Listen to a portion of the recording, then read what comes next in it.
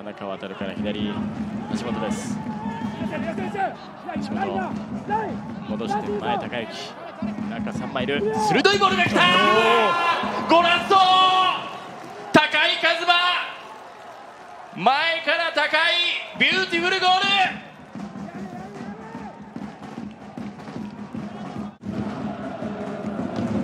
まあ、このクロス非常に速くていいボールでしたけどもここのボールに体反転させながらこうでボールに触って枠を捉える非常に、まあ、難易度の高いシュートだと思いますけども